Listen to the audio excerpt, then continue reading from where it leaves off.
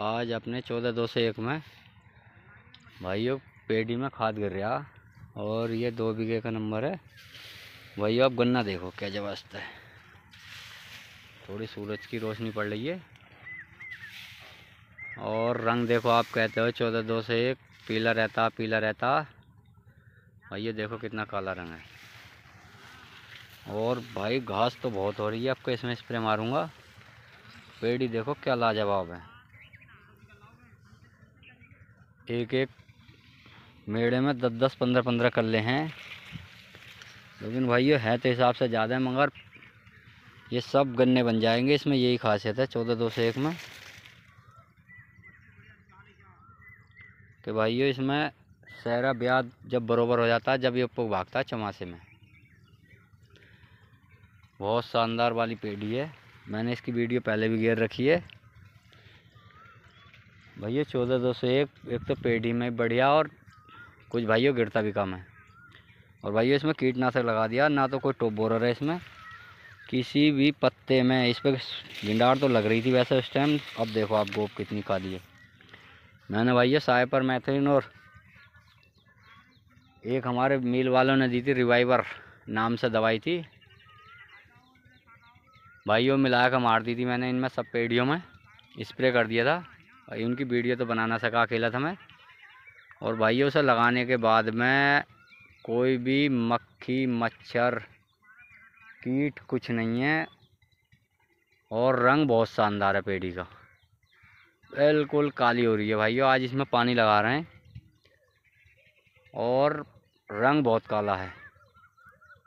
आप अगर इसके गन्ने देखोगे तो क्या शानदार वो हैं। ये कुछ में दस बारह, पंद्रह, बीस तक गन्ने हैं भाइयों। इसमें मट्टी नहीं चढ़ पाई, ये बयालीस इंची पे है। और भाइयों, जहाँ थोड़ा सा पोगा छोड़ दिया, वहाँ तो और शानदार है।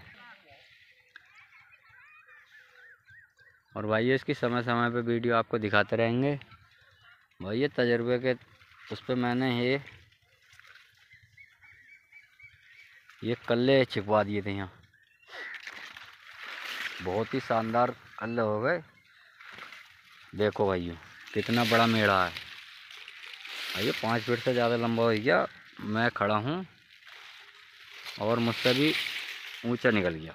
कहते हैं, बढ़ता नहीं है, बढ़ता नहीं है। भाई इतनी बड़ी पेड़ियाँ बाजी बाजी की अड़तीस की खड़ी हैं।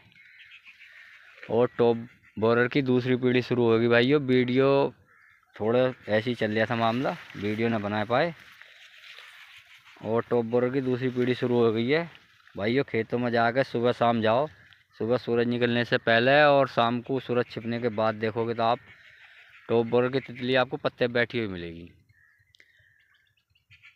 और आप कोई भी, किसी भी दवाई का, कीटनाशक का अच्छी जो आपके दौरे मिल जाती है, दुकानदार से पूछ के उसका स्प्रे कर दो।